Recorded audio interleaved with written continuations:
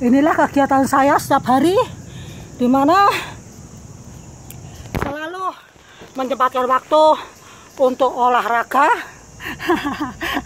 jadi teman-teman sesibuk apa pun selalu usahakan untuk melakukan olahraga semampunya. Meskipun itu cuma 5 menit 10 menit 15 menit selalu lakukan olahraga. Ini penutupan. Itu beberapa gerakan yang sangat saya sukai jadi terus berlatih terus menerus untuk melenturkan otot-otot atau persendian-persendian tubuh kita.